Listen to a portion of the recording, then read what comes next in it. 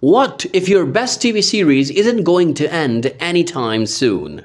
Here in today's video, we have some amazing news if you have been enjoying the most recent season of When Calls the Heart. The cherished series has been officially renewed by Hallmark for a 12th season. That's correct. The story of Elizabeth Thornton in the Hope Valley doesn't end there. Let's explore all that we now know about this fantastic revival. With your favorite blanket wrapped around you, you are getting cozy to watch yet another touching episode of When Calls the Heart. There is an added excitement this time around too, because you know the narrative doesn't end here. According to Lisa Hamilton Daly, Executive Vice President of Programming at Hallmark, every year the number of fans and viewers of When Calls the Heart grows and surpasses our expectation. Realizing season 12 is a significant accomplishment and a credit to the cast and crew's perseverance and hard work over the last 10 years. Cheers to more of Hope Valley's enchantment, suspense, and romance. There is lots to ponder about, even if the storyline elements are still unknown. After all, season 11 isn't even done yet. So, will Elizabeth ever find true love at last?